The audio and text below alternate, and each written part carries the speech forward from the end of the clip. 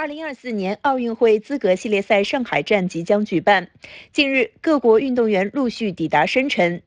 五月十二日，巴西国家自由式小轮车队和澳大利亚滑板队打卡世界最大滑板公园——新疆湾城 SMP 滑板公园。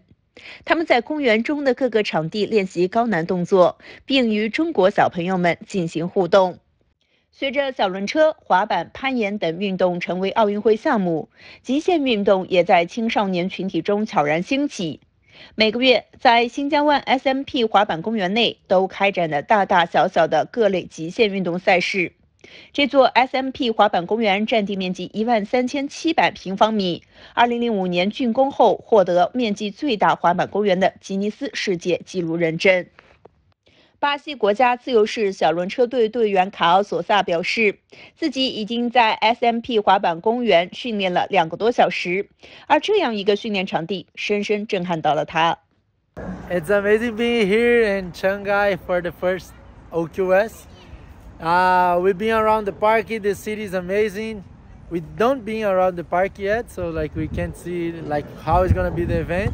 But we expect a lot of people, a lot of Chinese crown cheering for everybody.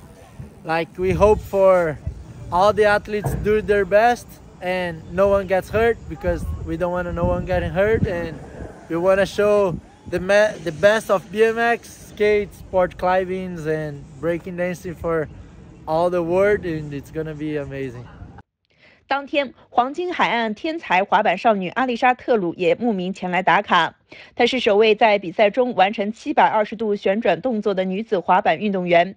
因其在比赛中的突出表现，在2024年劳伦斯世界体育奖颁奖礼上被授予年度最佳极限运动员奖项。Yeah, I heard about it, so I wanted to come skate here. It's really good and it's really fun to skate.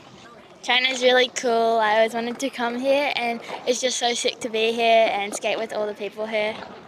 首次来中国的阿丽莎·特鲁对中国文化也充满了兴趣，主动学起了中文。我喜欢滑板。